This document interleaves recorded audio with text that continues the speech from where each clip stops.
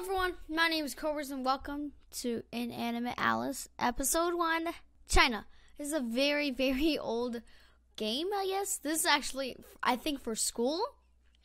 But it's like a puzzle thing where it's like a story, and then there's like, as you see, this story uses images, text, and sound. Turn on the sound of your computer, blah, blah, blah. And it takes about five minutes. Let's go! Okay. My sound up? My sound better be up. My name is Alice. I'm eight years old. My dad was supposed to be home from his trip two days ago. We've been waiting for it, for him to phone. He goes by himself in his Jeep while mom and I stay at base camp.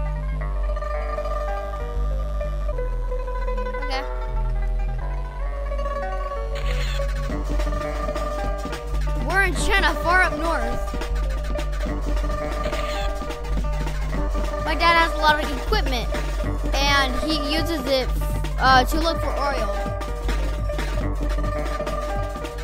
Mom says that Mom says John knows what he's doing. He'll be back soon. That's that's what she said yesterday and the day before, but not today.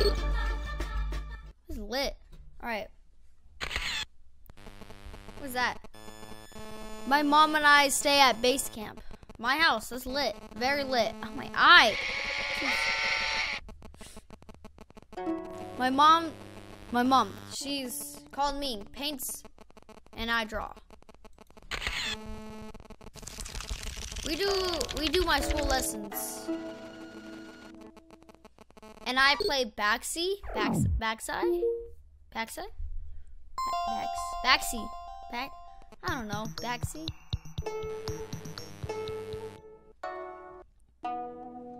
Hello, Alice. What's up? Wait, Where? wait. Oh, this is Brad. What's up, Brad? You're chill. But today we are in our Jeep and Jeep and we're going we are going to look for my dad. Jeep has giant wheels and has a big satellite transmitter on the roof. And you can drive pretty fast in it even though there's no roads. Okay, it's a weird car. It's bumpy though, and when I turn on my player, it registers all the new locations and goes a little wild. Maybe it'll help us find my dad. What the frick? Woo! Wait, wait, my mom says keep going to look for wildflowers we haven't seen before, but she's driving too fast for that. So whenever I see a flower, I didn't even get to read that all.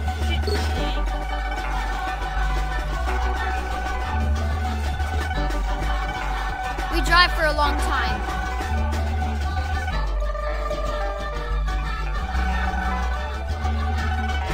We've never done this before.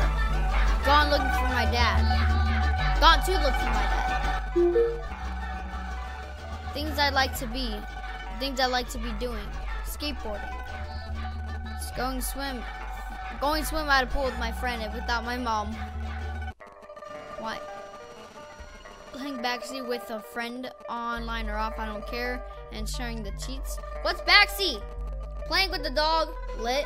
Maybe, though that may might be scary because we don't have a dog, and I've never played with one before. Okay. In the middle of my list, mom interrupts interrupts me. She tells me to turn off my player. It's annoying her. She is frightened. I am frightened too. It's getting darker. The sky is humming.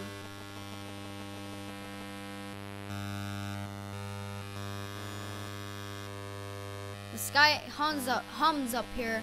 I don't know why, as though it's electronic. We keep driving, and it gets darker and darker, and the Jeep's headlamps don't make any difference at all. I wish I could turn on my player and look at the drawing of Brad I made earlier, but I'm not allowed. So I look out the window, though there's nothing to see. Things I would do if we lived in a town. Have a bike. To, to the cinema. See Baxi movie in real playtime. Okay. There's Brad. Then when I hear Brad's voice in my head and he says go that way, and so I say to my mom, go that way, and she does. That's scary. And we see my dad. Yay! We see his Jeep and my mom shouts, Where is he? Where is he? Then I spot him running down the hill next to his Jeep, waving the torch, and he's jumping up and down as though he's afraid we might drive past him without seeing. And then we and then we reach him. He tells us that his Jeep broke down and there's no signal here, not for miles around. He walked and walked trying to find one, but he couldn't. How strange is that? And it's kind of a miracle we found him. That my mom must have instincts of a bloodhound and that reminds me, so can I say, can I have a dog?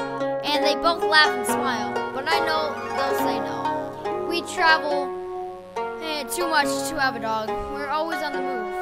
Always. And we charge up Daddy's Jeep, and before we set out to convey, I say, let's go to a restaurant to celebrate, which is kind of like saying, can I have a dog?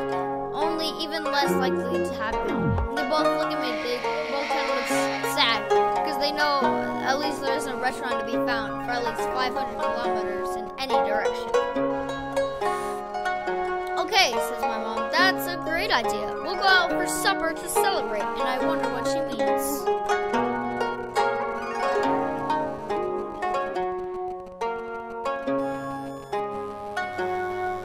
Written and produced by Kaylee Pullinger and Chris Joseph from an original idea from Ian Harper, Brad illustrations from B&A. Well, that's it. Thank you guys so much for watching this video. It was kind of like weird, kind of a game, but it was kind of like a story more than a game. So thank you guys so much for watching this video. And as always, I'll see you in the next video. Stay smart.